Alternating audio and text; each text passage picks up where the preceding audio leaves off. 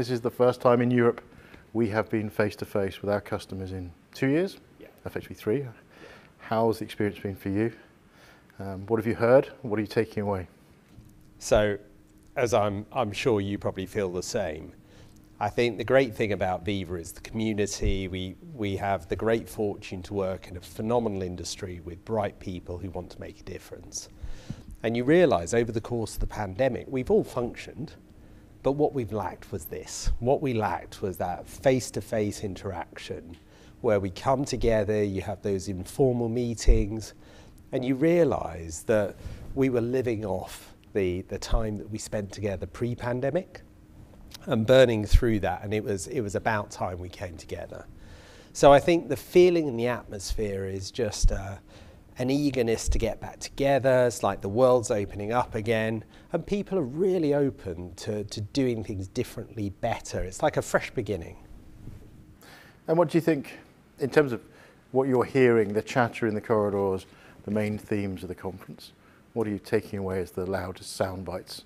We, we talked about breaking down the barriers in, in life sciences to, uh, to, to better join it up, to make it more effective. And that really seems to have struck a chord. I think COVID really challenged the art of the possible. Um, but, but there were some constraints during lockdown as to what you could really do about it. So the industry just did stunning things. But, but now we have an opportunity to really institutionalize that and build for the future. So I think in terms of what I'm seeing and hearing, it's very much uh, uh, an energy, a vibe about wanting to think differently, do things differently. And on the one hand, um, believing the time is right to, to break down those barriers to, to new ways of working. But also there's a, a pragmatic balance there, which is that's great. We do believe it. Now, how are we going to make it happen? And I see this sort of um, this wonderful combination between optimism but also pragmatism around that optimism which to me and I know I know you've seen much of the same as this as myself that's when great things happen when when optimism meets pragmatism then you get enduring change So in terms of, you mentioned barriers and you know breaking down some of those barriers. Are there any in particular that you think are worth sharing with our audience today? everyone is frustrated about the silo driven approach that we currently have to, to, to R&D today. But the reality is it's also we've got 100 years of muscle mass that, that have built up around that's how we do business. So it's frustrating, but it's comfortable. So we're going through a, a period where we've got two things coming together. We've got the, the can do um, demonstration of what people can do under pressure that the pandemic brought us. And we've got the advent of technology that genuinely connects and joins things up. The challenge, therefore, becomes that there's really no reason why we can't do this now, other than the fact that there's, there's a muscle mass and inertia around doing the things that we've always done. And I think this is, this is where you know, you can see some of the folks here today, they, it, it's going to be so vital that they maintain that optimism, that energy, that can do to break through those barriers and, and say, no, there is a better way and it's okay. You know, we, we don't need to waste our time working in silos. There's a better way. And do you think, I've, I've discussed with a few people, do you think COVID was a trigger for that or just a convenient passing of time for us to anchor onto? I, I'm probably more of the view, having seen cycles of this come and go, um, that it was a turning point. I think, I think it removed the excuses. Um, I, I'm, I'm wonderfully optimistic right now that you know, we heard from Roche today the, the, the fact that they were able to introduce a whole new medical testing device in months during a lockdown. That was spectacular. And they, they really had to think differently, act differently. And the, the greatest risk that I think we have right now is that we squander that. Because there's a feeling and a mood now that if we, if we take it, we could do great things. But if we let ourselves go back to business as usual, then all the old excuses of why these things are too difficult might sneak back in. And what do you think your role and Veeva's role in kind of continuing that journey is likely to be? And having spent my entire career, uh, and you know, obviously, as you know, I'm very old.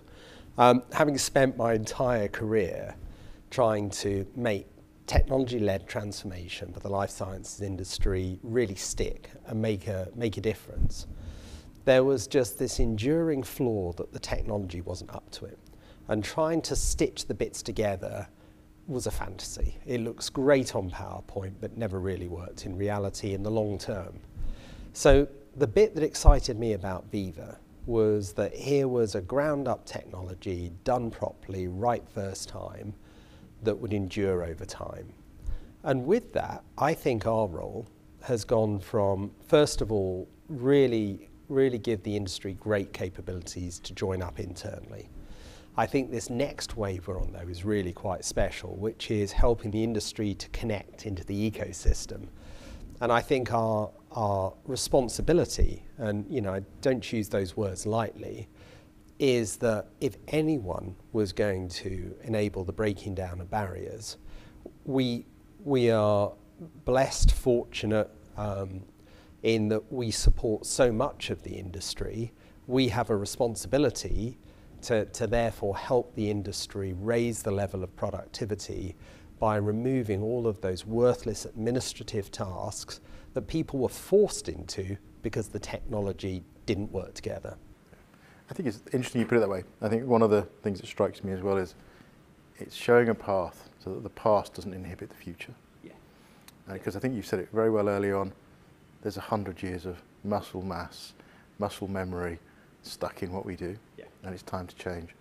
I think the other thing that's really struck me in the presentations and the keynotes, patient centricity and site centricity have to start meaning a lot more than they've ever meant before. Yeah. That's not to say they were ignored before. I might debate that, but the point is they genuinely have to start meaning something. But along that way, it's every user, which brings you back to sponsors. Yeah. And I do think it's that playoff between sponsors, sites, and patients that is going to be critical. The magic happens when you stop dealing with each item in, uh, in separation and you start connecting the dots. And when we do that, then, then you have a chance to change the whole economics of the industry for the better. So let me, let me take that one step further then. Um, the buzzword of our industry is my, fa- my least favourite phrase, which is decentralised clinical trials. So I'm going to park that, but I'm going to go with digital trials. Yeah. We've talked a lot and we've heard a lot from our uh, attendees here about digital trials. Yeah. What's your take about how that's going to continue to change the industry and where we're going to play a role in that? I go back to what are we trying to achieve here? We're trying to get the right patients into the right trials in as an efficient way as possible recognizing that the, the individuals are, are, in many cases, suffering through some pretty nasty illnesses. And so we bear a duty of responsibility to accelerate that process to bring medicines to the, the, the broader population, for making sure the right people turn up to those studies, and uh, to make sure that the experience while they're on it is as, as painless and unobtrusive as possible. So to me, I, I always slightly worry about the word digital, um, which, as you know, in my consulting days, I did a lot of digital programs because actually I'd flip it round. I, I, would, I would almost sort of say this is a, um, this is a, a patient-driven problem, both in terms of right patients, right trials, right time, right experience, but then acceleration so that the, the ultimate patients, once the drug is launched, um, can, can get benefit from it. So it's actually about joining the dots, and it's a very human thing, but using technology to achieve that aim. So if we could give you a magic wand that you could wave tomorrow, yeah. are there two things in this industry that you wish you could start doing yeah. that you can't do today? Yeah. And there are two things you wish you could just, you know, put into room 101 and, and cast into the f- forever ago, not to be repeated? so I, I, think for me, I'm impatient around the, this whole notion about what we can do in clinical. So I, would like to go all in with my two yep. and, um, uh, uh, and get to a point where we can enroll patients, we can capture their data, and we can share that with the investigators, sites, sponsors, with CROs um, seamlessly integrated in uh, to a point where we've, we've increased the access to the right patients for the right studies, and we've accelerated the process, and the patients who've gone through that have, have um, had a better, less obtrusive um, uh, experience. So, you know, distilled down, if I could, if I could say, you know, I want to be there today with a great patient experience, and I'd like to be there today with an integrated network to enable that. Things I'd love to stop doing. Um, in some ways, I, I would almost like a collective amnesia for the industry right now. And, and specifically um, around we must do things this way. I think we've got a chance to, um, if not tear up the rule book, we've got a chance to revisit it in a really radical and fundamental way. And it doesn't matter what we do in terms of creation of a platform and a technology. It, it really requires the, the, the, incredible people out there in the industry to, to really embrace it with both hands. So, you know, I think collective amnesia while we go through these programs would be a, a wonderful thing. Now, what's it like for the patient? What's it like for the investigator? You know, how do we make better studies? And how do we actually make a difference from that? And so, you know, I think, I think on both sides, and you probably sense it, it's an impatience that, that, you know, back to this duty. We have to do this, and we have to do it as quickly as possible.